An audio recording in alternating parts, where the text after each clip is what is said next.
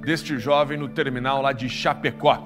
Olha a agressão que foi registrada aqui em Santa Catarina. Bota a imagem na tela, divide para Santa Catarina a agressão de Itapema.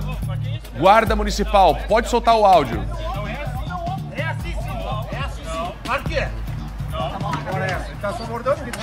Olha a forma em que este motorista de aplicativo é abordado, repreendido e imobilizado pela Guarda Municipal.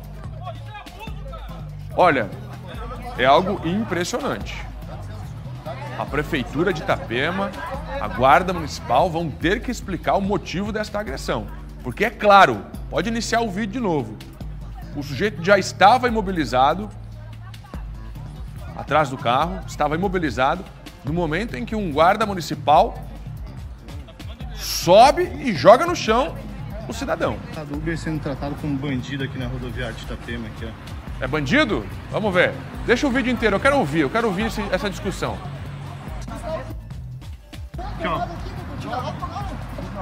Ô, ô, ô, pra que isso, cara? Não, não é assim, não grita. Não é assim, não é assim. É assim sim, Não, é assim não. sim. Claro que é. Agora é essa, ele tá só mordendo, gritando. Ô, ô, que que é isso, cara? Vocês tão loucos, cara? Mas olha Tá filmando? Pô, isso é abuso, cara. O senhor está sendo preso por desacato de resistência. Então afasta. Fazer o quê? O que tu vai fazer? Não, eu não estou te estou pedindo para o senhor afastar. Se o senhor afastar, o senhor vai preso. Grava Guilherme. Tá filmando, Guilherme? Chama a polícia, chama a polícia. A Uber sendo tratado como bandido aqui na rodoviária de Itapema. Essa ó. era a frase que eu queria.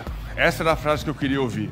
O cidadão que grava diz: o trabalhador sendo tratado como bandido aqui na rodoviária. Essa era a frase que eu queria ouvir junto com você de cara. Meus amigos, chega a dar ruim ver essa imagem. Chega a dar ruim.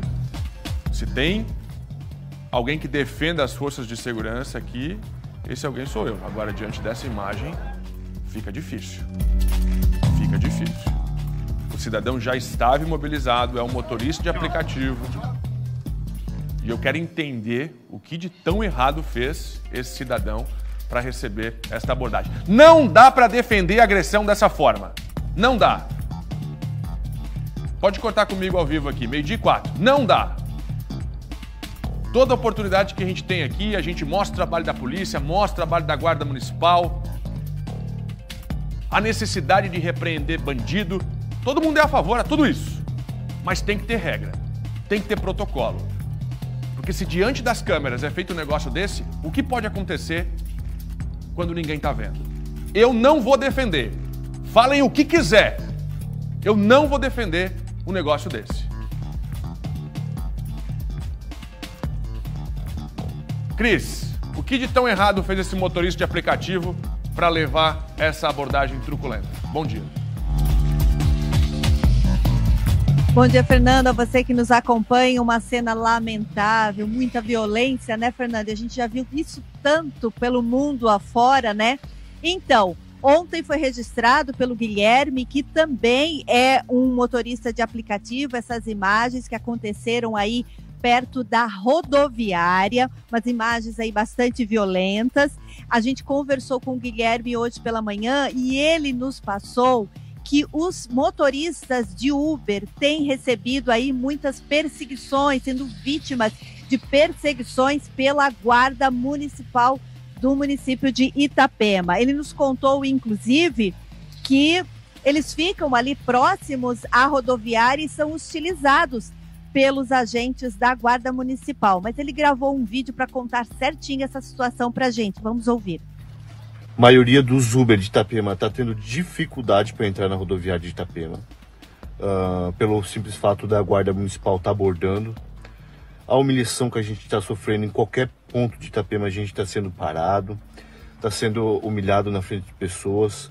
A gente é obrigado a tirar tudo do carro, mostrar para a guarnição. Fora a agressão e as ameaças que a gente está sofrendo deles. Até então agrediram um colega nosso ontem sem motivo algum. Eu queria deixar o meu relato aqui de indignação, tá? Pela perseguição que a gente está sofrendo na cidade de Itapema.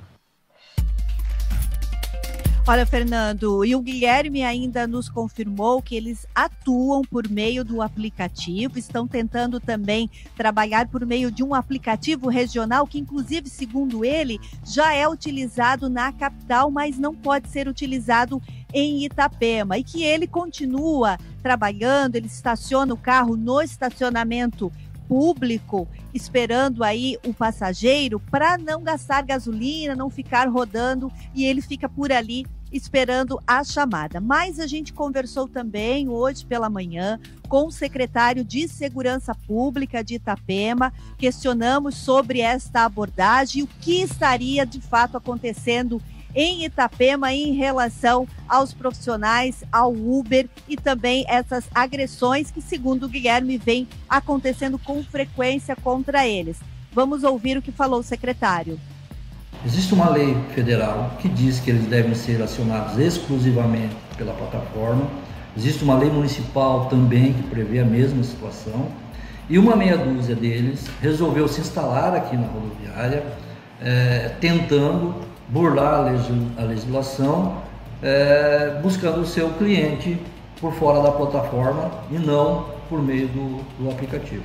Esse cidadão que foi preso ontem após uma fiscalização da Guarda Municipal, na verdade o vídeo só mostrou o final da ocorrência, não mostrou o início, é, onde ele foi preso por desacato, resistiu à prisão e o guarda municipal aplicou aquela técnica ali durante a abordagem de colocá-lo no chão algemado.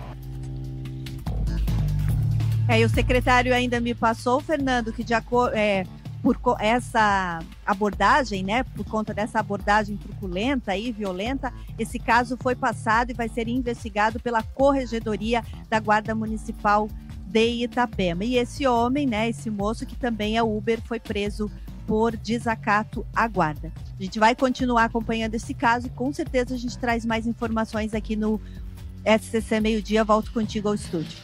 Muito obrigado. Bom, agora é apurar, analisar as imagens, porque não existe denúncia, não existe depoimento, apenas a gente tem imagens claras. Meu amigo, para você que está me assistindo agora e ficou pensando, mas espera aí, a polícia tem que se precaver diante de bandidos. Polícia sempre em primeiro lugar, eu concordo.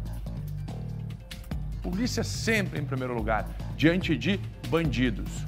O detalhe é quando a gente está falando de pessoas que não têm nada a ver com o mundo do crime.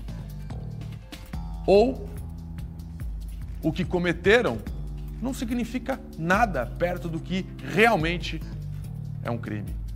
Então, gente, tem que ter muito cuidado com isso. Se a gente começar a defender esse tipo de ação truculenta, o próximo a ser vítima pode ser eu, pode ser você. Pode ser qualquer um. Fernando, mas não é uma ação generalizada. Não é, mas não poderia acontecer numa instituição tão preparada, tão bem treinada como a Guarda Municipal, de uma das cidades que mais cresce em Santa Catarina, que é Itapema.